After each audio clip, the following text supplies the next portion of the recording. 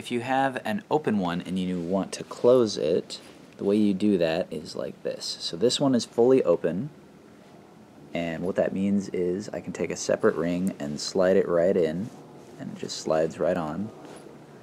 And I want to fully close it. And the way I do that is by grabbing with the pliers and then bending the two arms past each other a little bit, and then when I let go, they'll end up resting right on top of each other.